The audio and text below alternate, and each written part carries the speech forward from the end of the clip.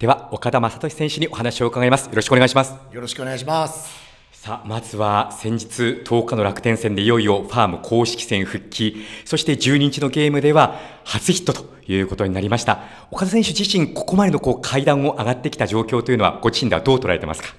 まあ正直その僕ももうやっぱりこう、うん、野球できるのかなっていう不安とあとはもう本当にこう一歩一歩今進んでる段階なんで本当にこう試合まあファームですけど試合に出れたっていうのはね本当に大きい一歩だったなっていうふうに思いますね。まず4月にその3軍のゲームから実戦復帰ということになりましたけれども、その中でこうご自身のだんだん手応えというか感覚というのは変わってきましたか？そうですね、あのまあ、この11年目でバッティングが今すごい一番状態がいいっていうか、あのね、ホームランを目指してでちょっとすいません嘘ですけど、あのまあ本当にすごく状態が良くてあとはねやっぱちょっと走る方がねもう少しこうあの日によって違う時があるんでそこをねあのしっかり段階上げていってあの本当にねあの上のゲームしっかり出れるように見据えて今は頑張ってるところですね。そのあたり伺いたいんですが、そのバッティングであったり、それからもちろんキャッチング、スローイング、走り、いろいろとありますけど、それぞれこう、まあ、点数というのは難しいかもしれませんが、どれくらいの今段階なんでしょう？今は本当に、えー、と守る方は8割ぐらい来てますし、えーあとはね走る方はまあ足遅いんで、まああのまあ、6割7割を目指したいんですけど、まあ、あの日によって本当に8割いける日もあれば本当にまあ5割ぐらいの時もあるんでそこをねあのしっかりやっていきたいなって思いますね。あの、もともとのその左膝の痛みというのがあって、まあ、そこから3度の手術という経過になるわけですけれども、今ご自身の中でその痛みというのはもう全く？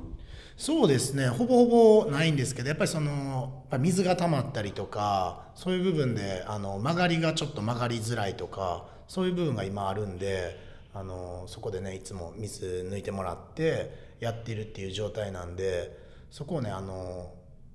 たまらないようにするっていう今感じでやってるんですけど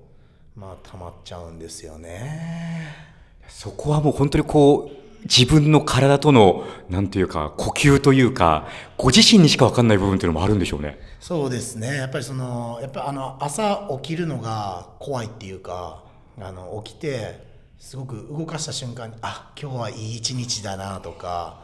今日はもうあダメな日だっていうのが分かるんでそこでねあの毎日あの携帯に僕今レントゲンの写真をボルト入れまくった写真があるんですけどそれを見て今日も一日膝頑張ってくれって思って やってるとこですね。じゃあ、まあ、ある意味ではいい付き合い方をしながら、どんどん状態を上げていくっていう感じなんですね。そうですね本当におっしゃる通りであのもう一日でも早くねあのしっかりボルト頑張ってくれって 思ってますね。まあ、あとはその、やはりその日の状況というのを見ながらという部分はあると思うんですが、ただ一方でこの長いリハビリの期間がありました。その間、こう、試合であったり、こう、現場から少し離れた位置でライオンズの戦いを見てきたと思うんですけども、そういった期間というのは岡田選手の中でも、ある意味では今までなかなかなかった状況なんじゃないでしょうか。そうですねやっぱりあの今でもあの1軍2軍の試合はやっぱりあのちゃんと欠かさず見てますしあのその中で上のねあのやっぱりこうキャッチャーがね古賀であったりまああの銀さんともまあまだあんまり仲が悪いわけじゃなくてあのいろいろ来たら会話もしますしあの若い子が帰ってあの帰ってきたらっていうあのファームに落ちて落ちたりとか、まあ、古賀も頭当たったりしていろんなことを会話してますしこういうのどうでしたっていう中でやっぱ自分の今見てたところをねあの存分に自分の今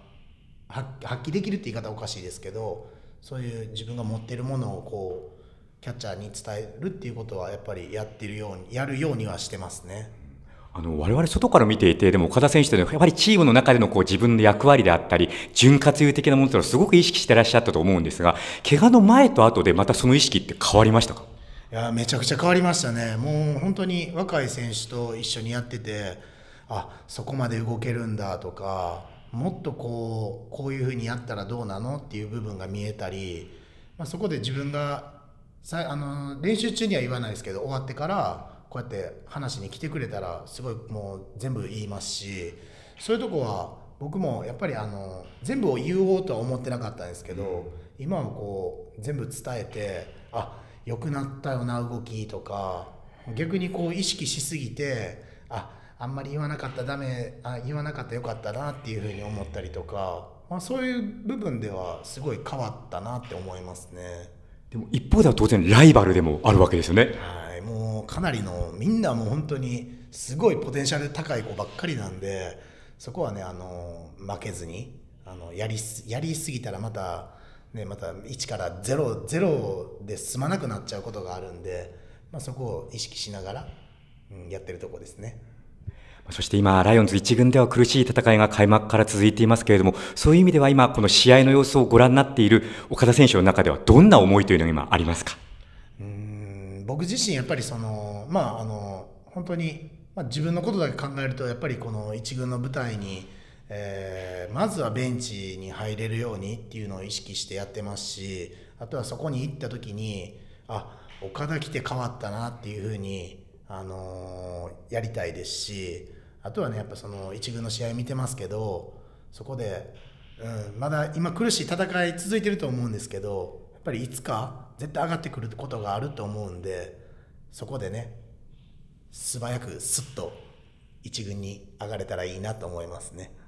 あの、我々、ベルーナドームのゲームを見ていて、あ、こういう時にもし岡田選手が試合前のエンジンにいたら、どんなこと言うんだろうっていつも思うんですけど。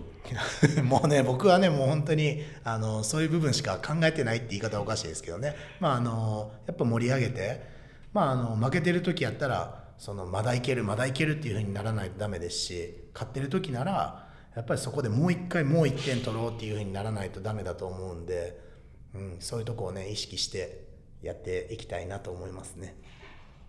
そしてやはりファンの声というのも非常に岡田選手にとっては大きいと思うんですけれども、このリハビリ中もいろんな声というのは届いていたと思います。はい、そうですね。あのやっぱりその2軍の試合だったり、まあ3軍の試合出させてもらった時に、岡田っていう声援をいただいた時に、すごくこう力になりますし、そのまあ手拍あの名前呼ばれた時にもこう大きな拍手をしてもらえて、僕自身ねなんかこうあ野球続けてよかったなって思いますし本当にファンの方のね声援はすごい力になるんでねあのまあ絶対復帰まだまだまだまだ野球やりたいと思いますしそこでねあのもう出てきた瞬間に桜ぐらいもうみんなが岡田って言ってほしいですね。いやもう多分あのそれが大事の歌詞をみんな思い返したら泣くと思いますよ。自分がまず泣くかもしれないですけどね。ですね。でも今ここまでほんもう本当にいろんな苦労があったと思いますけど改めてご自身の中でそれをこうここまで超えてきた一番の力というのは何だと思いますか？うんまあ僕自身そのやっぱりあの手術してもらった先生もそうですしあとはねそのトレーニングしてもらったあの大川代表、まあ、あのストロングスでのそこでもずっと毎日のようにこう連絡もらったりとかすごく力になりましたしあとはねその僕がこんな怪我してるのにサインくださいって言ってくれるファンの方はね本当にあのありがありがたいですし、うん、あ自分自分なんてまだまだなのにそういうふうに言ってもらえるとね本当力になってますね。今の岡田選手の中でまず直近の目標とするところというのはどんなところでしょ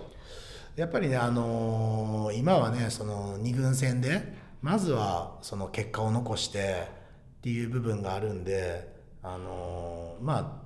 役割っていうのはあると思いますし、まあ、そこで勝たせられるようなキャッチャーに、えー、なってでいきたいというかまあもう僕がかぶった試合は全部勝つで負けていて7回8回9回出た時でもそこであ岡田がかぶったから次の打線が爆発したって言われるようなねあの姿を見せていきたいなと思いますね。あの、ライオンズファンの皆さんは、岡田選手がいつぐらいにこのベルーナで見られるかな、戻ってくるのかなというのを楽しみにしていると思いますが、岡田選手の中ではこの時期頃までにという、まあ、今の時点で思いというのはいかがですか？やっぱりね、あの僕自身あの6月30日が誕生日なんで、はい、えー、そこに向けてね本当に頑張って合わせていけたらいいなって思いますしそこで「ハッピーバースデー」歌ってもらって、うん、で打席に立てばあの、ね、大島ブラザーズの最後に「岡田」っていう言葉もやっぱりねそこであの目標に今は頑張ってるところですね。あの、我々、ライオンズナイターの公式マネージャーの乃木坂46の向井葉月さんも、もう岡田選手の復帰、本当に心待ちにしてると思います。いや本当にねあのすごくこう応援してくださるってその僕もねすごく嬉しいですしあの、まあ、一ファンとしてその僕を応援してくれてるっていうことはすごい嬉しいですし、まあ、その日に多分始球式してくれると思うんで。そこでねこの前はワンバンやったって聞いたんで、はい、もう何をやってるんだと思ったんで。その時にねあのぜひ始球式してストライクを投げてもらえたらいいなと思いますね。では、最後に、この放送を聞いているライオンさんの皆さんに、岡田選手からメッセージをお願いします。はい。えー本当にね自分自身、えーしっかり復帰して、えーまだまだ一軍でも、えー優勝を目指せる位置に絶対いるんで、えー僕の力で優勝したいと思っていますぜひ応援よろしくお願いしますあり一日も早い復帰を楽しみにしてます。ありがとうございました。がとうございました